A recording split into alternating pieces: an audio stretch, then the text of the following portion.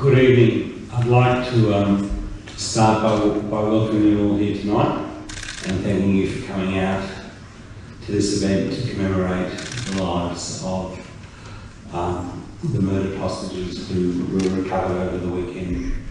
I'd like to start by acknowledging some leaders of, uh, of, our Parliament here with us today. Steve Dimopoulos, representing the Premier, the Minister for um, Tourism, Major Events and uh, Sport and Environment, and David Southwick, the leader of the, uh, the Deputy Leader of the Liberal Party here in Victoria, and other distinguished guests, community leaders. Welcome. If the 331 days that have passed since October 7 aren't enough to emphasise the awful reality of the battle in which Israel finds itself, let's consider the 331 nights that have also passed. 331 nights where the families of hostages being cruelly held in Gaza have not slept.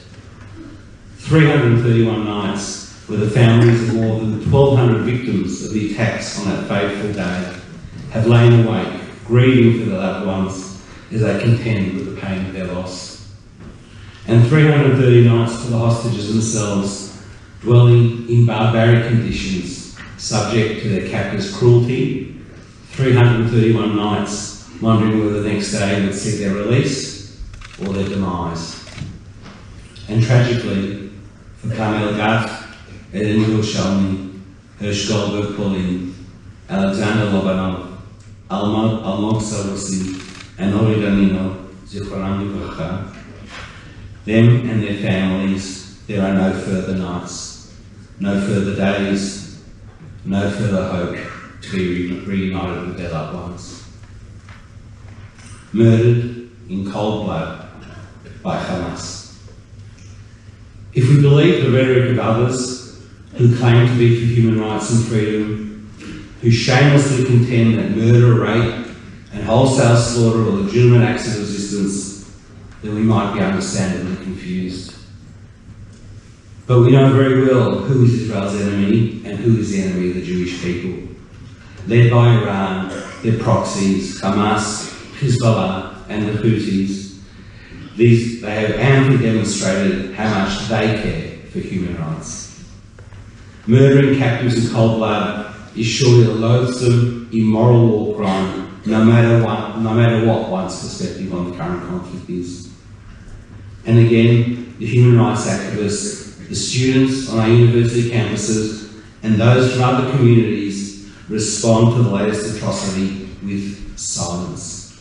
A silence that exposes their hypocrisy and confirms their support for anti Semitic terrorism and its unspeakably evil outcomes. When addressing the Democratic National Convention in Chicago last month, the parents of Hersh Goldberg, Polin Zichron said, There is a surplus of agony on all sides of the tra tragic conflict in the Middle East. In a competition of pain, there are no winners. In our Jewish tradition, we say, Kol Adam Olam Umla'o. Every person is an entire universe. We must save all these universes.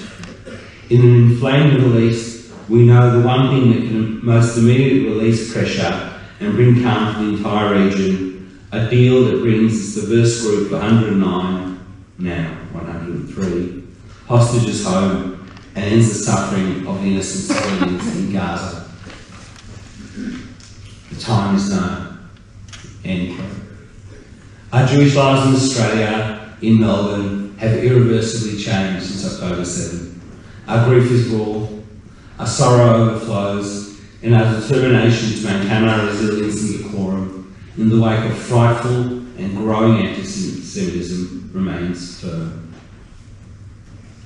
Also firm is our commitment to stand by and with Israel during this time, and indeed at all times.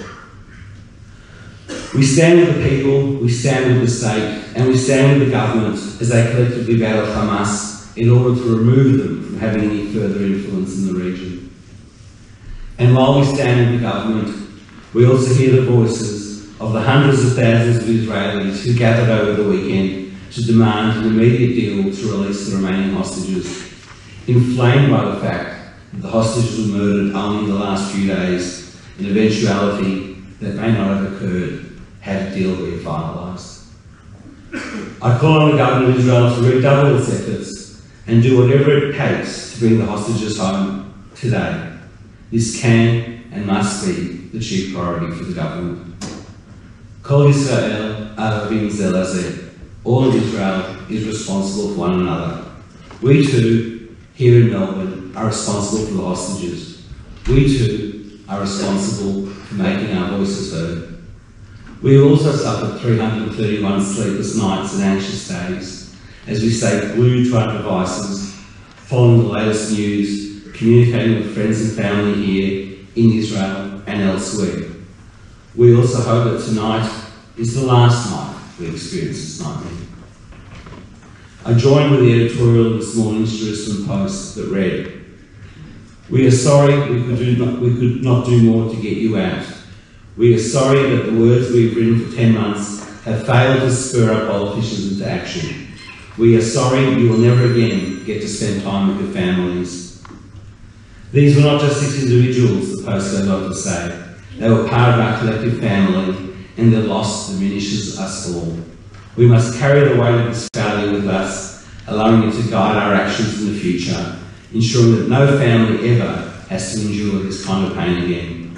We owe it to them to remember their names, to honour their lives, and to learn from the silence and that fills the space they once occupied.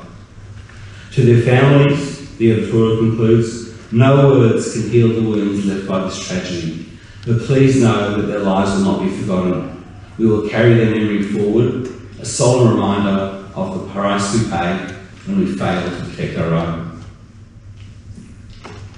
We look forward to brighter days ahead. We look forward to the next story about the hostages telling how they all returned home to their loved ones, to their people, to their state, to the only Jewish homeland in the world.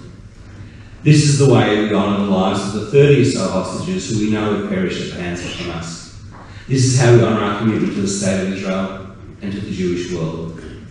And to the families of the hostages still in captivity, we join with them in fervent hope that they will be home for Shabbat this week.